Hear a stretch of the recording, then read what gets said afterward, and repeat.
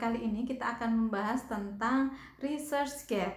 Nah, kalau teman-teman mahasiswa yang sedang uh, ingin skripsi ini masih bingung seperti apa sebenarnya research gap karena research gap ini menjadi satu langkah awal yang harus dilakukan oleh mahasiswa untuk dapat uh, melakukan proses selanjutnya.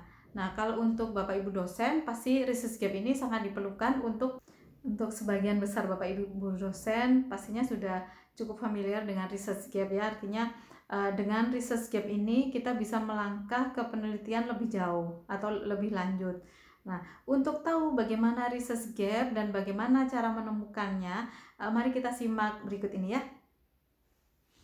Oke teman-teman, ada tiga hal yang harus kita pahami sebelum kita uh, menemukan research gap.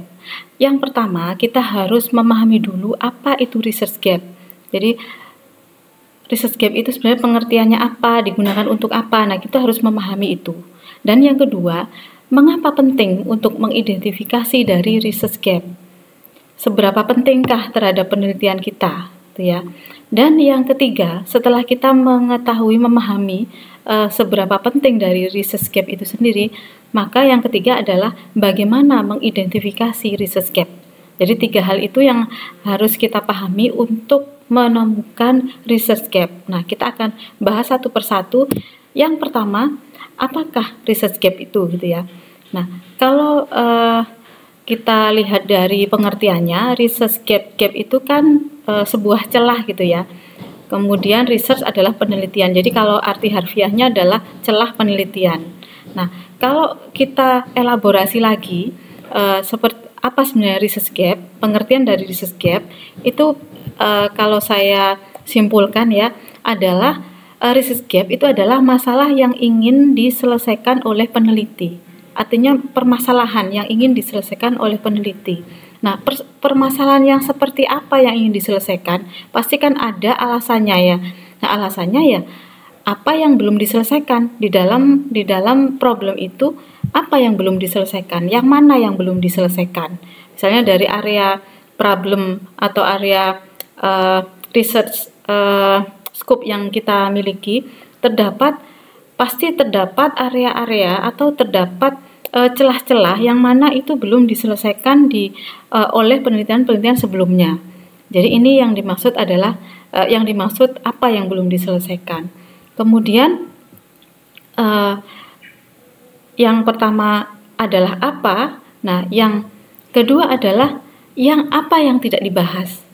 Jadi, kalau yang apa yang belum diselesaikan itu sudah teridentifikasi permasalahan, artinya sudah teridentifikasi uh, peta-peta problem yang mungkin uh, apa uh, ada keterkaitannya antara satu dengan yang lainnya, namun belum diselesaikan.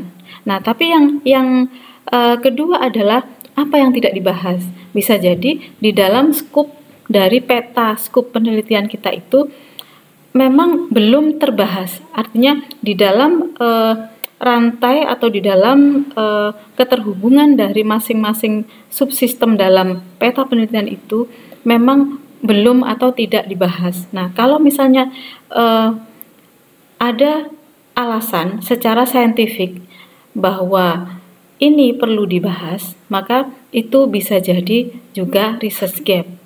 Nah, kemudian yang berikutnya adalah pertanyaan atau problem yang belum terjawab. Jadi, kalau yang pertama ini adalah masalah yang ingin diselesaikan, yang mana yang terdiri dari yang belum diselesaikan ataupun yang tidak dibahas, sedangkan yang kedua adalah pertanyaan atau problem yang belum terjawab. Jadi itu sudah dibahas, artinya beberapa penelitian sudah mencoba untuk membahas itu, namun belum terjawab, artinya belum ada solusi. Nah, ini juga research gap. Jadi uh, tiga hal ini bisa menjadi pedoman untuk kita uh, menjustifikasi bahwa ini adalah research gap. Nah, kemudian uh, dari research gap ini yang perlu kita tekankan ada tiga. Yang pertama adalah seberapa penting atau seberapa urgen, gitu ya. Kalau kita sudah menemukan, misalnya uh, menemukan uh, sebuah sebuah celah atau sebu sebuah masalah yang kita justifikasi sebagai masalah dari dari uh, uh, argumen ini, maka kita harus uh, memastikan bahwa apa yang kita selesaikan yang akan uh, kita angkat ini seberapa penting, gitu ya. Artinya seberapa seberapa penting itu adalah secara saintifik juga dan seberapa urgen, gitu ya.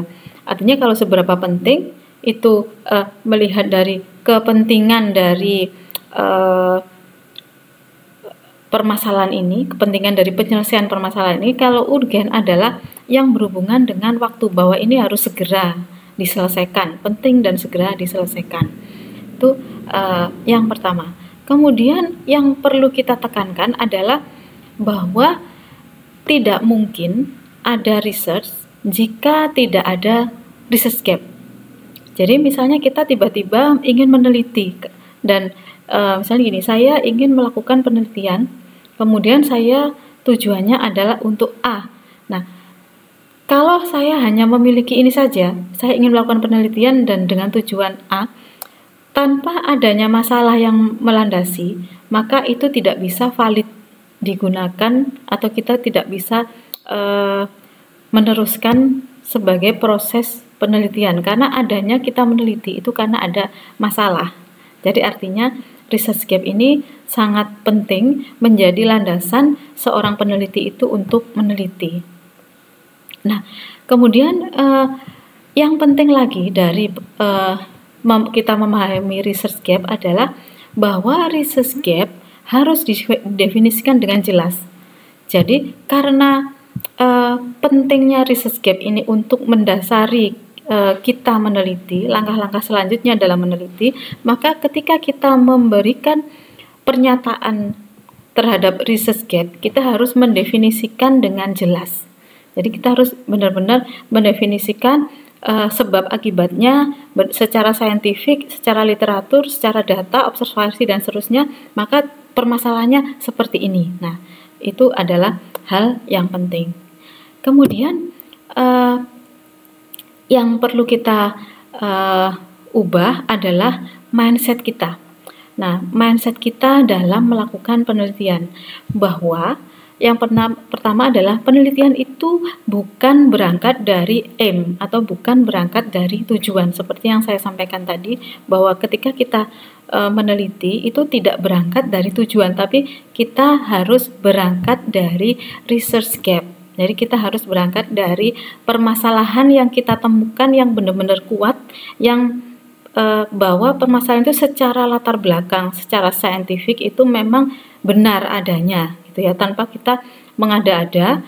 E, artinya mengada-ada begini karena e, sering kali e, khususnya misalnya e, waktu awal-awal belajar meneliti, misalnya mahasiswa yang mungkin masih awam untuk e, melakukan proses penelitian, misalnya mau melakukan skripsi atau mungkin tugas akhir atau apa, e, dia memiliki tujuan untuk melakukan penelitian tentang ABCD. Tapi kenapa dia melakukan penelitian tentang ABCD tidak ada latar belakang yang mendasari. Nah, itu jangan. Jadi kita harus mengubah mindset, kita harus uh, berangkat dari research gap dulu. Jadi kita harus mengidentifikasi dari permasalahannya dulu.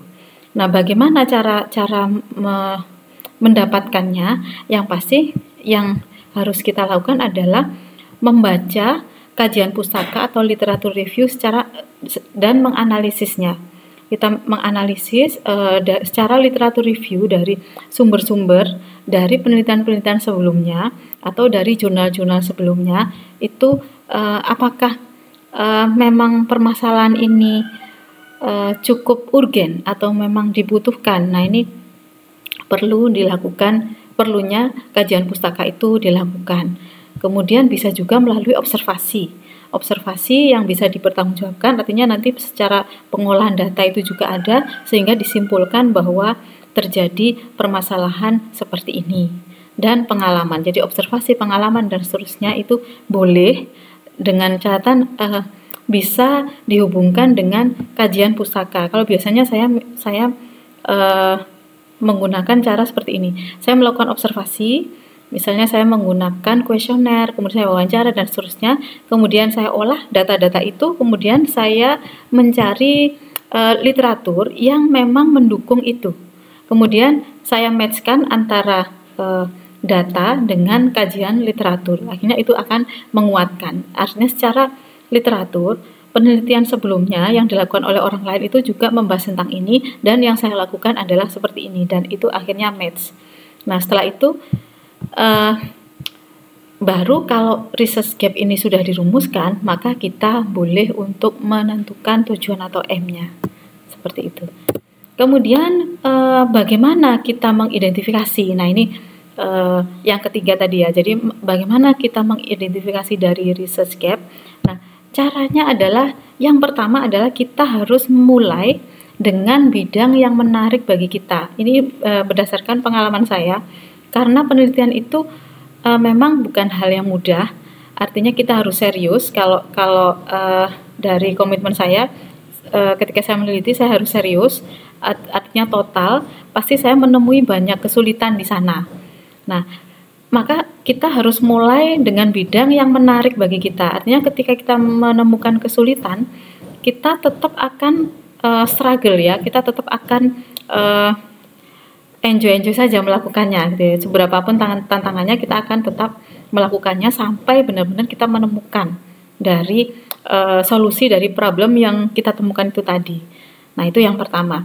Kemudian yang kedua adalah kita harus mengetahui mega trends dan recent debate. Artinya gini, uh, sebuah topik, kalau kita dalam topik itu kita tidak memahami seperti apa uh, kondisi terkini atau kondisi aktual yang sedang dibahas saat ini, itu rasanya kurang valid untuk kita bisa melakukan klaim-klaim atau justifikasi. Jadi sebaiknya kita mengetahui megatrends yang terjadi di dalam topik yang kita angkat itu sehingga kita bisa membuat justifikasi yang valid dan yang up to date. Nah, seperti itu. Nah, dari mana caranya? Ya dari banyak membaca literatur, gitu ya. Kemudian yang ketiga adalah mereview kajian pustaka terkini. Ini pasti ada hubungannya. Jadi yang kedua dan ketiga itu ada hubungannya. Artinya e, bacalah literatur yang terkini. Jadi kalau biasanya kalau penelitian teknik uh, umumnya uh, idealnya tiga tahun terakhir atau lima tahun terakhir gitu ya. Nah kemudian uh, kalau ditanya seberapa valid research gap kita, nah seberapa valid itu tergantung dari pertama itu kebaruan literatur atau kajian pusaka ya setidaknya lima tahun terakhir gitu ya. Namun satu catatan lagi uh, kita masih perlu sebenarnya membaca dari uh, literatur yang di di atas uh, sorry di bawah lima tahun misalnya 10 tahun terakhir atau tujuh tahun terakhir yang gunanya untuk apa? Untuk memastikan bahwa topik tersebut memang belum pernah dibahas. Artinya gini khususnya uh, untuk yang rumpun-rumpun teknik atau yang lumayan cepat itu teknik informatika. Bisa jadi Misalnya dalam 10 tahun sebelumnya itu sudah dibahas tentang topik A dan sudah selesai. Artinya dengan berjalannya waktu topik itu sudah tidak booming. Jadi ketika lima tahun terakhir itu sudah seakan-akan itu tidak tidak pernah dibahas padahal sebenarnya dalam 10 tahun sebelumnya itu sudah pernah dibahas. Nah, itulah gunanya kita tetap membaca 10 tahun terakhir atau mungkin uh, ke belakang untuk memastikan saja. Tapi secara literatur yang kita rujuk tetap kita tetap menggunakan literatur yang terkini gitu. Nah, sekarang yang uh, terakhir adalah bagaimana sih cara merumuskan dari research gap. Ini contohnya. Ini karena saya uh, menggunakan uh, saya adalah background computer science, saya coba menggunakan uh, kombinasi antara computer science dengan pembelajaran. Nah, di sini saya men, uh, merumuskan problem. Nah, jadi problem ini uh, kita mendapatkan dari literatur review. Jadi kita mendapatkan dari kajian pustaka beberapa literatur yang menyatakan bahwa misalnya begini, selama pandemi COVID-19, proses pembelajaran di semua negara dilakukan dengan menggunakan sistem online.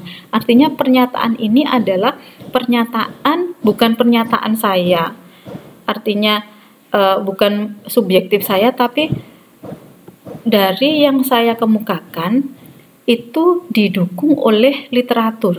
Nah, di sini teman teman-teman bisa memberikan atau uh, menuliskan citasinya yang terkini kalau bisa lima tahun terakhir uh, kalau bisa lebih dari satu artinya yang menyatakan ini lebih dari satu literatur tiga empat ya sebanyak banyaknya lah nah kemudian Berdasarkan observasi, pembelajaran tatap muka menjadi opsi yang banyak dipilih peserta belajar. Ini juga based on literature. Jadi, dua pernyataan ini adalah based on literature, artinya eh, selama pandemi proses pembelajaran online. Nah, tapi berdasarkan observasi, pembelajaran tatap muka menjadi opsi yang banyak dipilih. Jadi ini fakta. Jadi fakta yang dikuatkan oleh literat, literature. Nah, kemudian bagaimana dari per, dua pernyataan ini kita menentukan research gap? Nah, ini e, kalau pengalaman saya, ini berangkat dari e, analisis ya. Dari saya menganalisis, kemudian dari analisis itu saya hubungkan dengan keilmuan yang saya yang saya kebetulan uh, memahami. Misalnya uh, secara pembelajaran, teknologi pembelajaran, saya menemukan eh saya memiliki atau mampu dalam menganalisis yang hubungannya dengan motivasi yang mana dihubungkan dengan ilmu komputer science misalnya gamifikasi. Maka di sini di dalam research gap saya sekaligus uh, merancang kira-kira ide yang ingin saya selesaikan itu apa. Nah, maka di sini saya memberikan pernyataan begini. Namun, sejauh ini belum ada penelitian yang memiliki evaluasi lebih dalam tentang bagaimana siswa menerima dan mempersepsikan pembelajaran online tanpa harus membandingkannya dengan pembelajaran tradisional.